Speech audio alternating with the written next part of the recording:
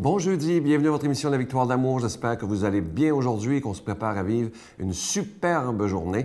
Et pour bien la commencer, on y va, nous, avec des bonnes nouvelles. On rejoint notre ami Pierre-Luc Bordelot.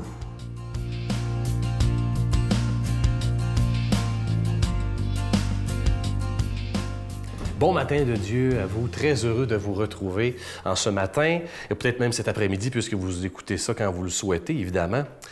Aujourd'hui, je vous rappelle une chose, j'en ai déjà parlé dans mes chroniques, puis je tiens à élaborer sur ce sujet-là. Ce sujet-là, c'est est-ce que on ne saisit toujours les opportunités de faire une différence dans la vie des gens?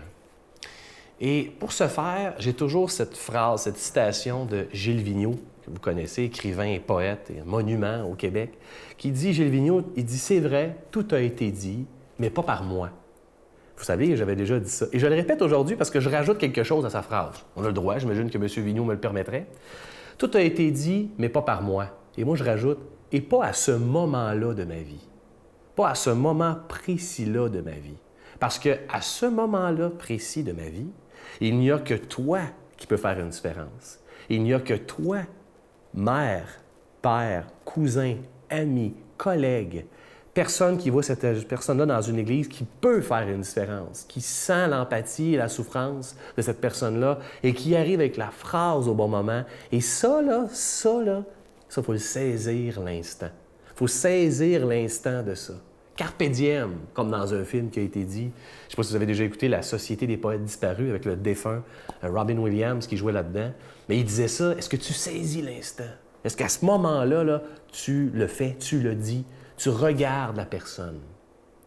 Et vous, dans votre vie, qui a dit quoi et à quel moment pour faire une différence dans votre vie? J'aimerais ça que vous me partagiez ça. Je vais vous en nommer quelques-uns, mais moi, je veux savoir, envoyez-moi un, courriel là-dessus pour dire, moi, là, c'est mon père. À tel moment dans ma vie, il m'a dit ça. Et moi, là, à ce moment-là, là, je vivais telle chose. Ça, c'est exceptionnel. C'est ça qui a, façonné les personnes que vous êtes, qui a fait de vous des donneurs de sens. Moi, un ami m'a déjà dit, vous savez, je suis un gars qui n'est pas gêné, qui prend de la place dans des endroits, c'est normal. Et ça m'inquiétait toujours. Je me disais, je prends-tu trop de place? Je prends-tu trop de place? Et j'ai dit à cet ami-là, je prends beaucoup de place dans des endroits. Il m'a dit, attends, là, tu prends pas trop de place, Pierre-Luc. Tu prends ta place. Ouh, et là, ça m'avait fait du bien. À ce moment-là, il avait débloqué ça. Je fais quand même attention pour laisser de la place aux autres, mais je me posais quand même la question. Éventuellement, j'ai déjà dit à une personne qui avait de la misère à prendre sa place dans la vie. J'ai déjà, je suis sorti comme ça, j'ai dit Hey, on t'a donné une place, c'est pas pour rien, prends-la. Ça y avait, en tout cas, après quoi, elle m'avait dit que ça y avait fait du bien. Parce qu'elle était justement une enseignante, un peu timide. C'est-tu vraiment ma place? Puis j'avais dit, hey, on, on t'en a donné une, on t'a accordé ce travail-là pour te donner du sens. Qui a dit quoi dans votre vie pour faire toute une différence? Partagez-moi ça, c'est ça qui donne du sens. Notre Père qui es aux cieux, que ton nom soit sanctifié, que ton règne vienne, que ta volonté soit faite sur la terre comme au ciel. Donne-nous aujourd'hui notre pain de ce jour. Pardonne-nous nos offenses comme nous pardonnons à ceux qui nous ont offensés. Ne nous laisse pas entrer en tentation, mais délivre-nous du mal, car c'est à toi qu'appartient le règne, la puissance et la gloire pour les siècles des siècles. Amen. La Victoire de l'amour vous invite à sa retraite spirituelle dans le centre du Québec les 6, 7 et 8 octobre 2017 sous le thème Découvrir Dieu comme un Père. Venez vivre des moments de ressourcement inoubliables en compagnie de Sœur Angèle, l'abbé Stéphane Roy, Pierre Faubert, psychologue, le docteur Gaëtan Brouillard, Brigitte Bédard, Sylvain Charon, Miguel Padilla et la présence exceptionnelle de Franck Nicolas, conférencier reconnu mondialement, à l'hôtel et suite Le Dauphin à Drummondville. Réservé au 514-523-4433 ou sans frais au 1-888-811-92-91. Venez découvrir comment Dieu notre Père nous aime sans jamais nous juger.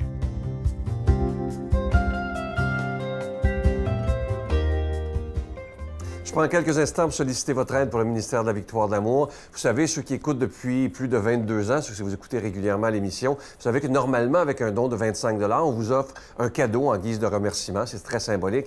Et comme le mois de juin a été très difficile au niveau des dons, l'été, c'est toujours assez difficile, on a décidé avec un, c'est un risque de ne pas donner de, de, de cadeaux en juillet, en espérant que vous voudrez quand même contribuer, parce que comme je dis souvent, le plus beau des cadeaux qu'on peut vous faire, c'est de rendre cette émission possible et diffusée sept jours par semaine sur le réseau TVA depuis plus de 22 ans. Je vous rappelle aussi qu'on vous envoie un reçu pour fin d'impôt. Si vous vous demandez pourquoi on demande des dons, c'est simple, c'est qu'on doit payer pour être à la télévision, que ce soit pour la production, la diffusion, et on n'a pas de subvention. C'est vraiment grâce à chaque personne qui décide de faire un geste concret que cette émission existe. Alors je vous remercie de tout cœur, je vous donne l'adresse. La Victoire de l'Amour, casier postal 120, succursale Boucherville à Boucherville, le J4B 5E6, je vous la redonne. La Victoire de l'Amour, casier postal 120, succursale Boucherville à Boucherville, le J4B 5E6, également par téléphone, par carte de crédit dans le 514-523-4433,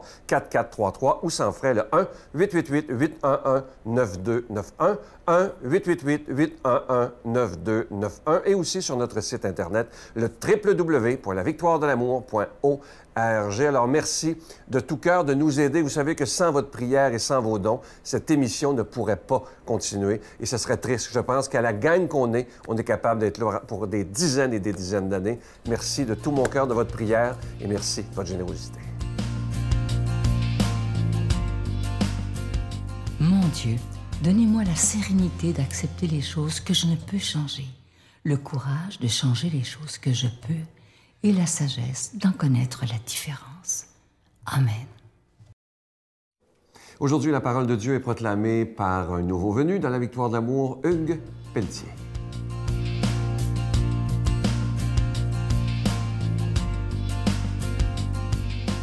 Bonjour, je suis heureux d'être avec vous ce matin pour commenter cet évangile de Saint Matthieu.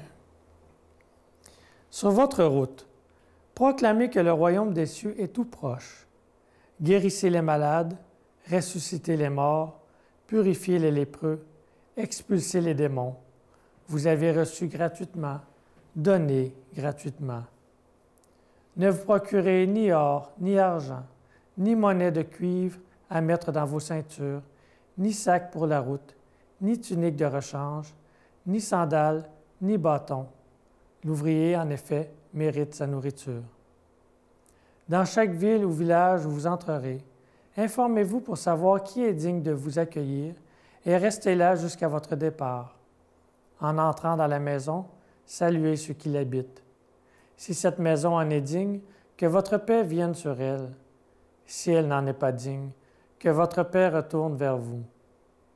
Si l'on ne vous accueille pas et si l'on n'écoute pas vos paroles, sortez de cette maison ou de cette ville et secouez la poussière de vos pieds. Amen, je vous le dis, au jour du jugement, le pays de Sodome et de Gomorre sera traité moins sévèrement que cette ville. Acclamons la parole de Dieu. Nous avons affaire ici à un évangile plein de symbolisme. Euh, je ne crois pas que nous soyons appelés à ressusciter les morts, comme il dit, et à se dépouiller complètement, à faire nécessairement du porte-à-porte et à secouer la poussière de nos pieds si nous ne sommes pas accueillis. C'est sûr qu'ici, Jésus parle, et peut-être évidemment, Matthieu s'adresse à une autre époque, mais c'est sûr qu'ici, il y a beaucoup de symboles. Et Jésus aime les symboles et aime les symboles forts. Pardon. Sa parole est vivante. Sa parole est tranchante. Et il dit plus tranchante qu'une lame à deux tranchants. Il va dire que la parole, Saint Paul va dire, nous portons un trésor dans des vases fragiles. La parole de Dieu, elle est vivante, elle est vivante aujourd'hui, pour nous aujourd'hui. Dieu est le même hier, aujourd'hui et demain. Sa parole ne change pas. Et souvent, quand on lit, on a l'impression que c'est lettres mortes, on a l'impression que c'est un livre, ça, ça, a été écrit par quelqu'un il y a 2000 ans à des gens de l'époque. Non, c'est Dieu qui nous parle aujourd'hui. Dans la parole, ça dit aussi que la parole est lumière sur ma route. Quel que soit le moment de ma vie, ce que je vis, la parole nous éclaire et nous conduit. Quand on entend la parole, quand on entend l'Évangile, C'est Dieu lui-même qui nous parle aujourd'hui. Qu'est-ce qu'il nous demande? Il nous demande dans cet évangile de se dépouiller, d'être humble, d'être pauvre. Si Saint Paul, le grand Saint Paul dit, nous portons un trésor dans des vases fragiles, qui sommes-nous, nous, pour aller proclamer la parole avec toutes nos pauvretés, nos imperfections, nos limites, nos péchés? Pourquoi ce n'est pas Jésus qui apparaît et qui vient? Il veut passer par nous. Et pourtant, il nous dit que si on s'attache à lui, si on se dépouille de ce qu'on est pour se tourner vers lui, lui va passer par nous. Prenez Moïse. Moïse qui dit, Seigneur, envoie quelqu'un d'autre. Je bégayais. Et pourtant, il a dit, c'est toi que j'envoie. Puis il trouvait toujours une solution. J'enverrai ton frère Aaron et j'enverrai. Comment de temps, moi, j'ai dit, mais Seigneur, qui suis-je pour que tu m'envoies? Je suis plein de limites. Et Seigneur, tout ce qu'il nous demande, c'est justement d'être humble. Plus la personne est humble et petite, et plus il peut passer par nous. Qui qu'on soit. Regardez Thérèse, elle disait qu'elle n'était qu'une petite fleur, et pourtant, elle a été habitée de Dieu toute sa vie, et on en a fait la patronne des missionnaires, celle qui n'est jamais sortie. Qui, qui nous sommes? Si on se tourne vers le Seigneur Jésus, on va voir que nous ne sommes pas grand-chose, mais on va voir qu'il nous aime d'un amour infini. Et c'est justement parce que nous sommes petits que lorsqu'on va parler de lui, les gens vont pouvoir percevoir que c'est lui qui parle. C'est ça qui est extraordinaire. Il dit de ne pas prendre d'assurance, de ne pas prendre d'assurance humaine, mais il dit qu'on va faire des merveilles, des merveilles, ressusciter des morts, des gens qui n'ont plus goût à la vie et qui, à un moment donné, sans même savoir par quelle parole qu'on peut dire à un moment donné, il va retrouver goût à la vie. Et je l'ai vu. Ça, c'est pas nous, ça, c'est l'Esprit Saint. Elle est vivante, la parole de Dieu. Ce qu'il nous demande, c'est de s'en nourrir et de risquer de la proclamer. Et tous, nous pouvons le faire autour de nous, dans nos milieux. Mais il dit bien aussi de ne pas insister si quelqu'un ne veut pas l'entendre, lui-même n'a pas couru après le jeune homme riche. Et quand il dit de secouer la poussière de ses pieds, ce n'est pas de le mépriser, c'est simplement dire de partir et d'aller ailleurs, d'en parler ailleurs. Sinon, ça ne donnera rien. Ça peut même faire l'effet inverse. Le Seigneur ne nous demande pas d'aller par tous les chemins, il nous demande de se tourner vers lui aujourd'hui et de ne pas avoir peur de vivre de lui, de parler de lui, de l'annoncer. C'est tout, c'est juste ça, mais c'est tout ça, et il va faire des merveilles par nous. Merci Seigneur d'être ce Dieu qui nous bénit tous les jours, toi qui es Père, Fils et Esprit Saint. Amen. Je vous salue Marie, pleine de grâce. Le Seigneur est avec vous. Vous êtes bénie entre toutes les femmes, et Jésus, le fruit de vos entrailles, est béni. Sainte Marie, Mère de Dieu, priez pour nous pauvres pécheurs, maintenant et à l'heure de notre mort. Amen.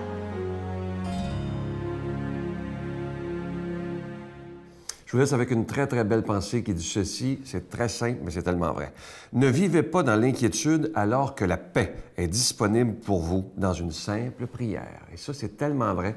Quand ça va pas dans votre vie, ou comme dans la mienne, au lieu de commencer à se faire du ressentiment, puis à faire du souci, puis à, à se stresser, pourquoi ne pas simplement dire au Seigneur, ça, je t'offre ce problème-là, je te le donne et je sais que tu vas m'aider à passer au travers. Et ça, si on prend le temps de le faire, de confier nos problèmes au Seigneur, tout devient changement parce qu'on sait qu'on n'est pas seul à traverser une difficulté. Quand on sait qu'il est avec nous, tout est possible. À demain. Bye. Je, souffrais tellement en dedans, quand j'avais les virus puis tout ça. J'avais pas le choix de m'accrocher à quelque chose, puis c'était instantané. J'avais pas le choix de me retourner vers lui puis de tendre les bras puis de dire ben fais ce que tu veux avec moi parce que de toute manière moi je peux rien.